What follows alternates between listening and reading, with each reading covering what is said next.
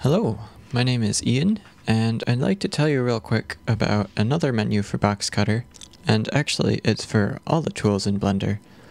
So you might have heard Master Xeon talking about a top bar, and I just found out how to enable that. I've been kind of frustrated because he uses it frequently, but by default it's not here. So I just found out that by clicking up here and actually right clicking, if you go to header, you can click this little checkbox that says show tool settings. And now you have the top bar.